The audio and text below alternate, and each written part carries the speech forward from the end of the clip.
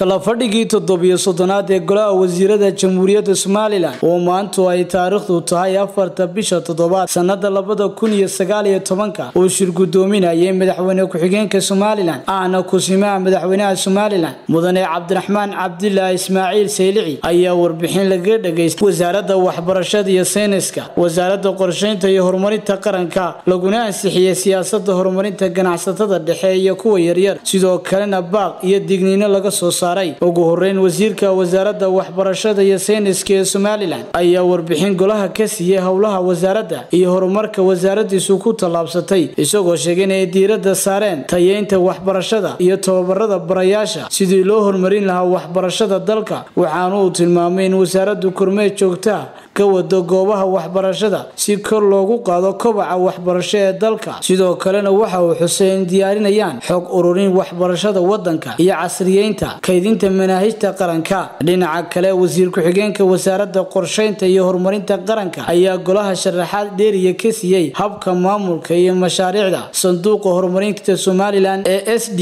f wuxuuna ku dheeraaday ahmiyada weyn ee mashaariicda sanduuqa qaranka uu leeyahay isagoo sheegay in si habsami ah guud ahaanba dalka uga socdaan mashaariicaha lagu maalgelinayo sanduuqa somalilan develop form waxaa kale oo goluhu ansixiyey siyaasada horumarinta ganacsatada dhexe iyo kuwa yaryar oo ay soo diyaarisay wasaaradda ganacsiga warshadaha iyo dalxiiska ee somalilan golaha wasiiradu waxa ay fariin adag u direen maamulka muqdisho oo mar walba ku fogan dagaal joogta oo ay ku wadaan dalka somalilan taasi oo muujinaysa cadaawadda iyo colaada ay u hayaan shacabka somalilan xukuumadda somalilan waxaay beesha caalamka ugu baaqaysaa dal aan awoodin doorasho dadweyne oo caalamku u dhisay dowlad dowladda fashilatay ee maanta joogta villa soomaaliya ee muqdisho. Aanna meelna u dhaafin aan in la barbar dhigo jamhuuriyadda somalilan oo ay ka jirto dimuqraadiyad kala dambayn iyo doorashooyin xor iyo xalaal ah. Ayna ka qabsoomeen lix doorasho. Adduuweynuhuna ka marakacayo inay somalilan ka go-an tahay ishkaashi horumar iyo xasilooni adduunka. Haddaba jamhuuriyadda somalilan waxay mar walba diyaar u tahay in fagaara caalamka loogu garnaqaayo maamulka xamar. Balse taasi waxaa burisay shirkii kenya ay ka baaqdeen beesha caalamkuna goojoog ka ahayd. Dowladda somalilan waxay ka digaysaa in maamulka muqdisho khatar amni darro iyo qalalaase hor leh ka abuuraan mandaqada geeska afrika oo leh sooyaal taariikhood oo colaadeed dheer ah. Ugu dambeyntii golahu wuxuu shacabweynaha jamhuuriyadda somalilan ku baraarujinayaa inay u diyaargaroobaan difaaca qarankooga waxaana warqadaasi ka soo baxday